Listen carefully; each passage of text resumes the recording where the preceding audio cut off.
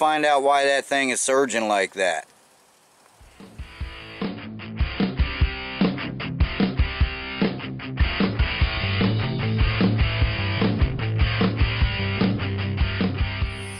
Alright guys, I'm sure Alright guys, I'm sure you heard this thing surging.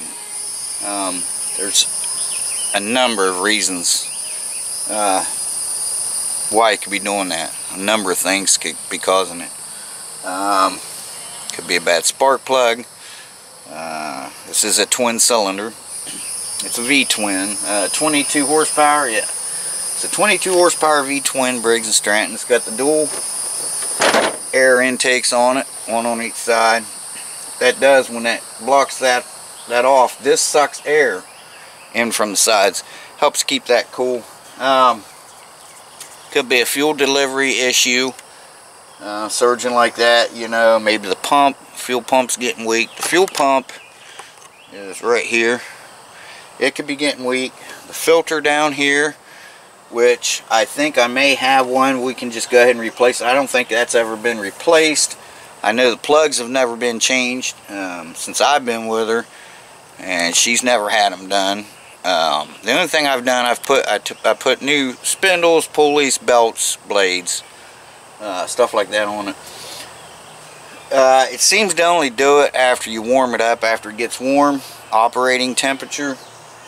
But we're going to check the filter, uh, the you know the air filter. We're going to check it. We're going to check the plugs go ahead and clean them. I don't have new plugs to put in it right now, but we're going to go ahead and pull them out, clean them.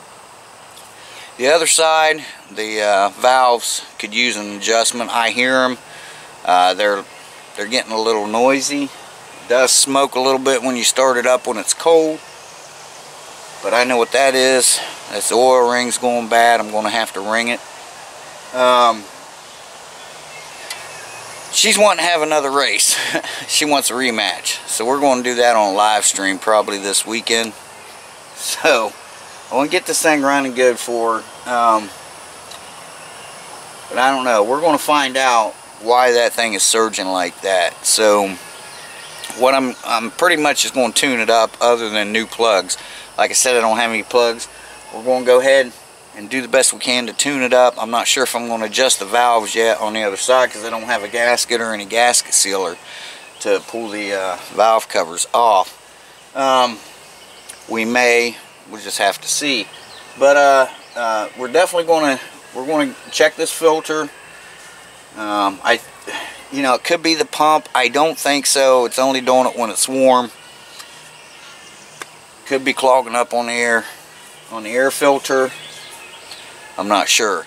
But the first thing we're going to do, we're going to check these plugs. That'll also tell us how this thing's running, because I know for for a long time, I would, if she would mow, she would have the choke halfway up. Well, somebody told her to do that. You don't run with your choke halfway on.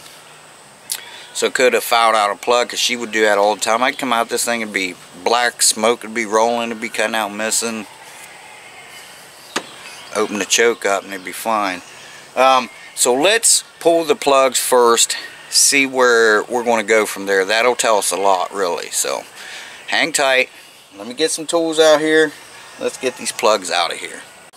Alright, go ahead and get this plug out. It's just a 5 8 I do believe. Yeah, just a 5 8 Wasn't very tight. I love this little ratchet. Uh, quarter inch and uh, 3 H drive.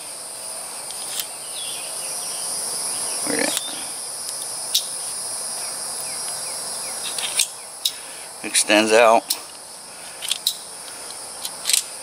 So, I love that ratchet. It's a Pittsburgh. I forget where I got it. Probably uh, Harbor Freight. Okay, see there?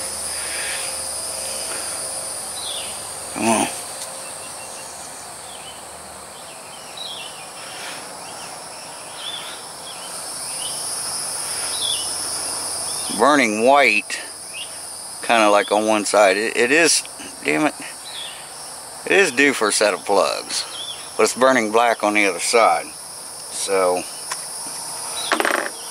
let's go around the other side.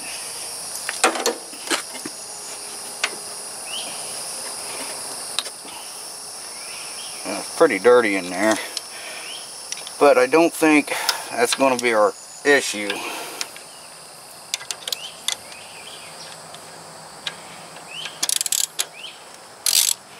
This one wasn't real super tight either.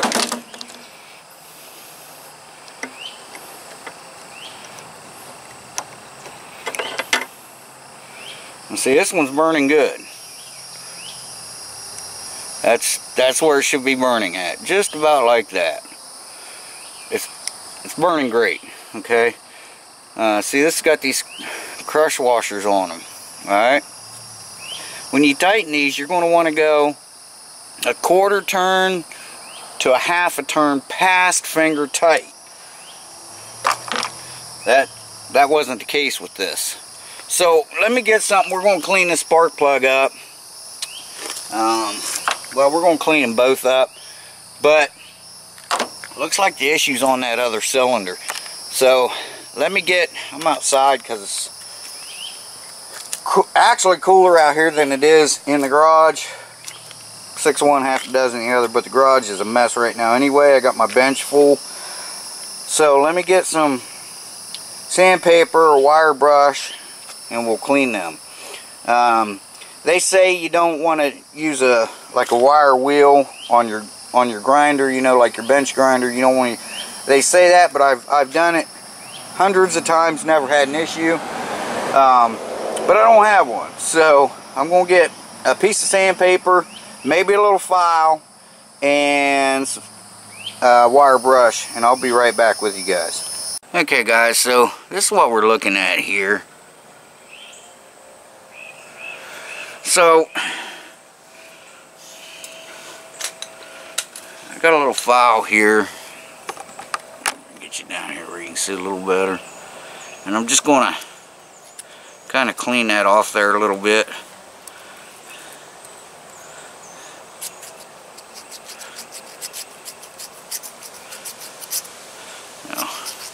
Get all that soot and everything off of it.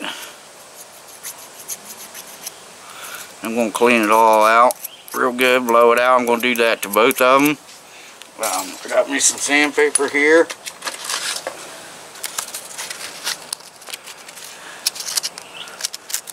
And you put that right in there. Just right in between that like that. And I'm going to clean these up real good, sand them off, get them all looking real good. The main concern is right in between that gap there. Um, get that all cleaned out. I'm going to do that to both of them. And I'll blow them out with compressed air. Then we'll move on to the air filter see how it looks. I don't want to bore you with that because this is all I'm going to be doing. Okay? So, I'm not sure what the gap is on here. But, uh, I'm going to get this, get these cleaned up and I'll be right back with you guys. Okay guys, I'm just going to show you this one to show you how to tighten this kind of a plug with this crush washer. Okay, see that one's crushed a little bit more than that one. See? See that? So one was tightened more than the other, but we're going to take care of that right now. I'm just going to screw it in. There, that's hand tight. Now, I'm going to give it a quarter to a half a turn. Quarter feels good. Let's go a half. There's a half turn. And that feels really good and really tight and snug.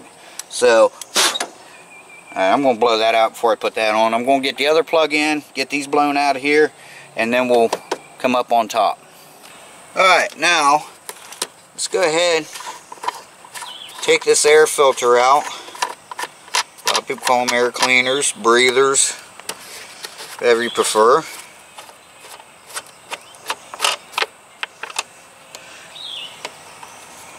I have cleaned this before. Damn it. But it's been a while.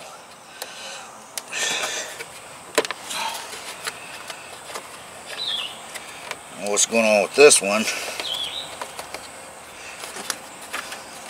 I may have to get a pair of pliers to pull up on that.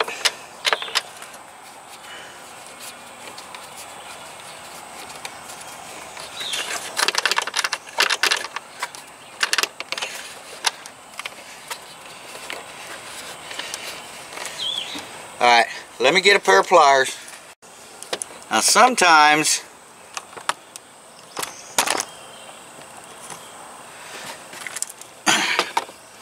these will actually pull up off the bolt. So air compressor kicking on. Um,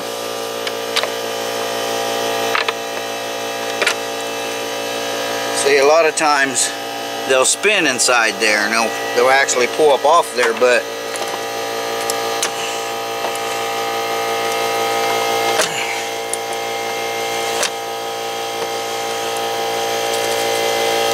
it feels like it's spinning sometimes you can squeeze it and get that bolt to turn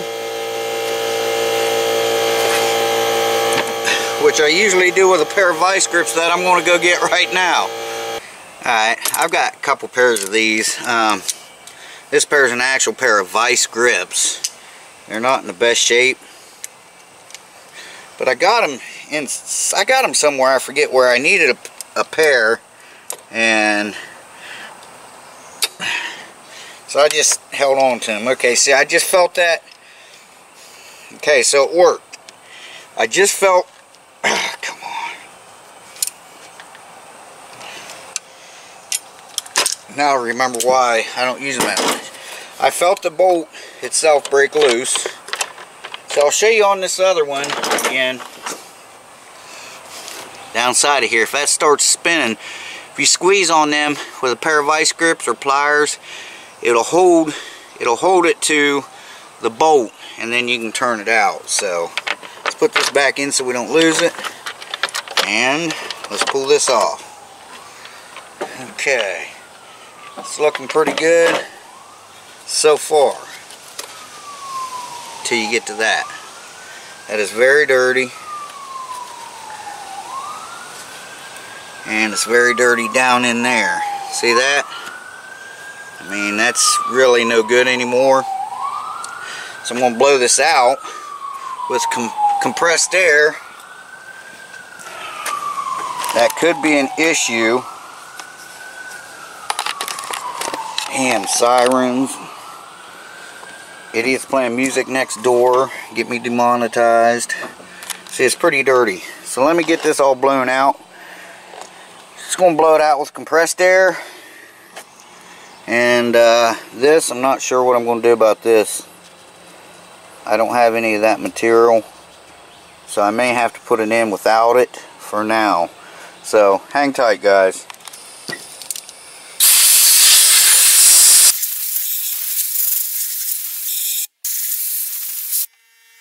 this thing, what I like to do with these is, you know, the, the air's going in through there. It's clogging up in here. I like to try to blow it through backwards, but it doesn't really matter. So some of these you can wash them out with water. I don't like doing that. So I'm going to blow it out the best I can with compressed air. Okay guys, fucking neighbor over there is pissing me off. I just yelled at him. I said, turn it down a little bit. I heard, fuck you.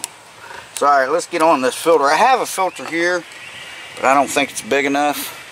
How that works is the fuel comes up into here and has nowhere else to go except through that paper filter to get out. Um, so what we're going to do here is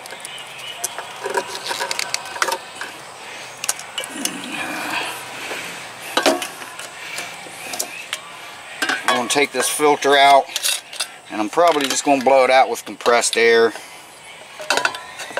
because the looks of the air filter from the looks of the air filter that's all going to get get new stuff. Probably going to end up draining the tank. That's all going to get new stuff when I put new rings in it so.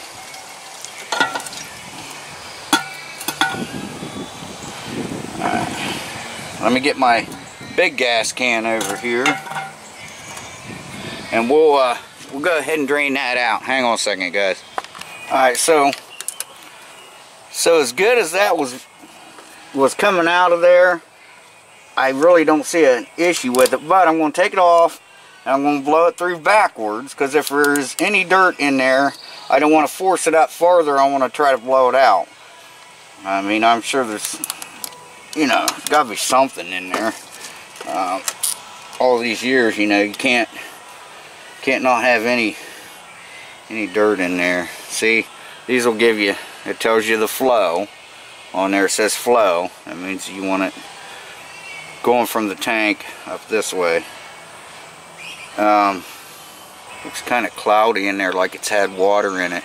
So I'm just going to blow this through backwards.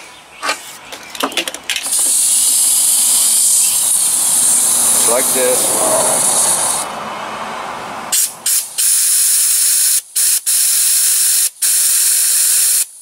and I'm going to blow it forward.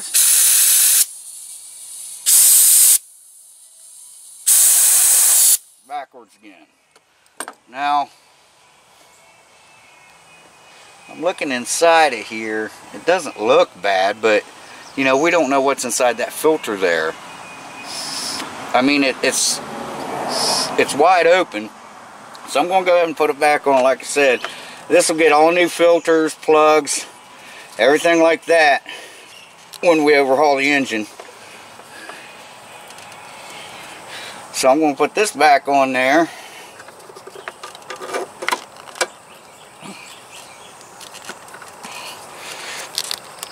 But if I do need one, I've got this. What you do on these, uh, you cut, like if, if this end's too small, you cut it off here and here. Or if you need a smaller end, a bigger, whatever, you cut one end off or the other. Uh, it's a new filter. I know it doesn't look like it, but it is new. It's never been used. So what we're going to do, I thought I had a bigger one like this, but I don't. It's it's just like this, but it's smaller. Um, I don't I don't want to restrict the fuel any. You know what I mean? So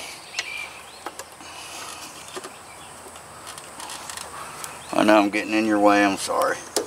Alright. We're going to put this back up in here.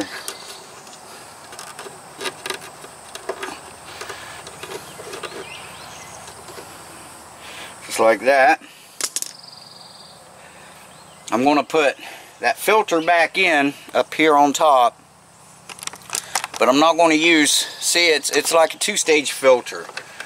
Um, I can't use the bottom filter because it's just too bad. So I'm not going to, I'm just going to put the big filter in it and we're going to go from there. I'm going to clean this up a little bit more. We're going to put gas in it. We're going to see if we made a difference. Alright guys, this is what I had to do. I had, I had to scrape all that stuff off and blow this off real good. What this is is a pre-filter. It's sucking air up through here. You can see up into here. And then it goes, sucks it up through here and that cover directs it down in to your intake. So as you can see I mean this thing was doing its job but that's the best we're going to have right now. So let's go ahead see how clean that is there. Let's go ahead and put this back on and we're going to start it up and see and let it warm up and see if that helped it Alright, we got it back together. It may take it a minute to pump fuel up into the filter. Um, sometimes you can go like this and get it to prime, but we'll just see. Just back in here.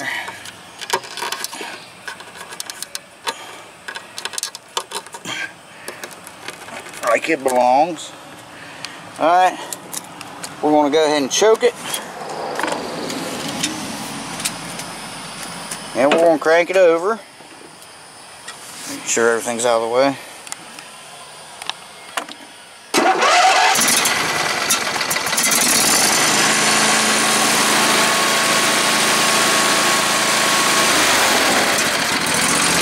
Now I'm going to let this warm up, get up to operating temperature again. I'm going to let it run for 20 minutes at least, 25 minutes. Earlier I only had to run it 10 minutes and it was uh, surging. But I'm going to go ahead and let this run for about 20 minutes and we're going to see if we fix the problem. Alright guys, it's been running 24 minutes.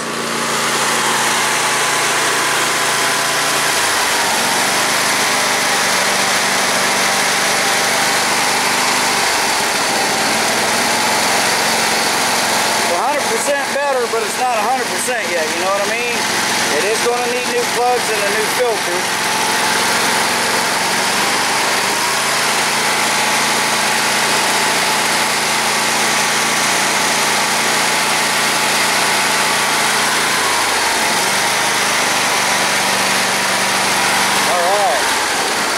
Sounds pretty good now. Let's see over here.